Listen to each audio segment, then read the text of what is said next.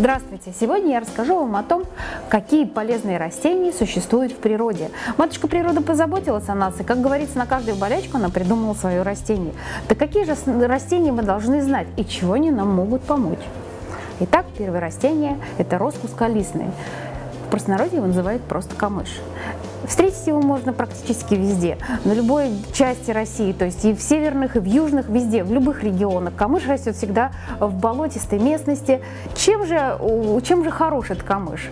Эм, ну, во-первых, все, наверное, знают, что листья э, этого растения можно использовать в для плетения посуды, для укрывания крыши на жилищах, обшивки стен. Корни растений тоже съедобные. Отвар из этих ну, из корней можно лечить раны, ожоги. Э, пыльцу у этого растения можно использовать как муку, а компрессами из корней можно лечить укусы насекомых, ожоги и другие кожные заболевания. Вот такое вот необыкновенное растение камыш. Следующее второе растение – это всем известное растение тысячелиственник. Ну, его тоже можно встретить и на полях, и на любых лес, лесных опушках. То есть ну, все про него знают перечень, какие он лечит заболевания, это растение, ну, настолько велик, что я даже сейчас, это займет прям очень много времени. Наверное, основные это все виды желудочно-кишечных заболеваний, то есть начиная от язвы, кончая заболеванием печени, кишечника, то есть это очень э, необыкновенное растение. Высота растения где-то доходит до метра, от 50 до метра, и растет на солнечных опушках или на солнечных лугах. Третье растение, которое тоже заслуживает вашего внимания, это чистотел. Про него тоже все знают. Как бытует мнение в народе, что чистотел, листиком или чистотел можно одним, если вы каждый день употребляете, можно вылечить рак.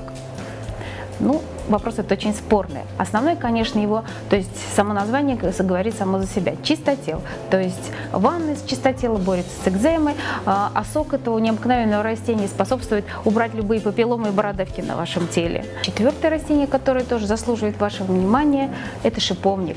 Шиповник у нас уже растет даже и в некоторых садах, но вообще на опушках, в лесах, на солнечных полянках вы всегда можете встретить вот необыкновенное растение, Э, это шиповник. У него красивые очень цветы.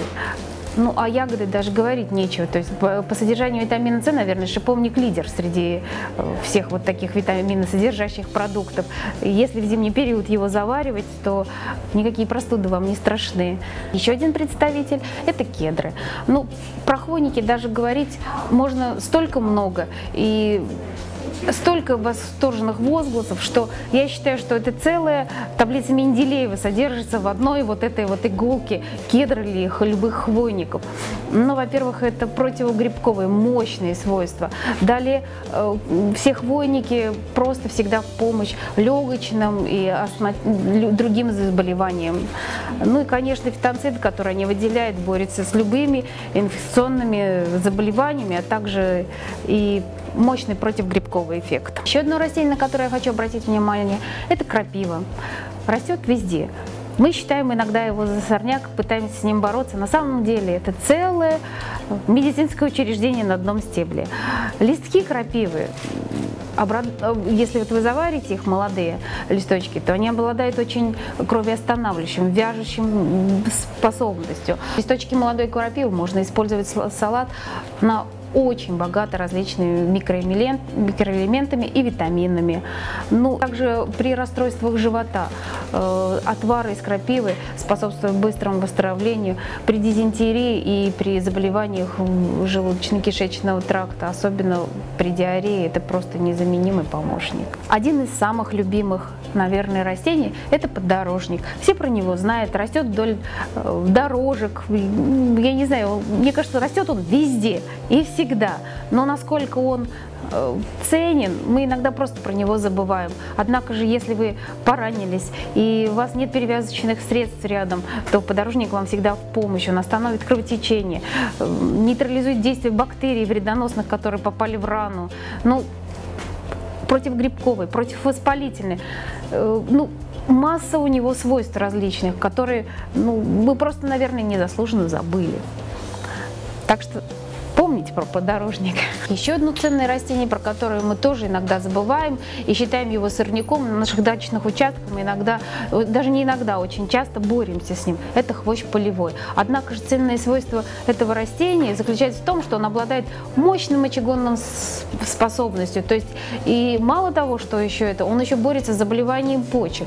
Также он является рано, рано заживляющим средством.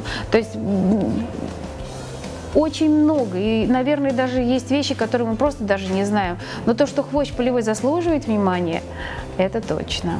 Еще одно растение, которое очень часто начало появляться в наших э, садах, садоводы и огородники очень часто стали сажать в своих садах и приусадебных участках. Это манжурский орех.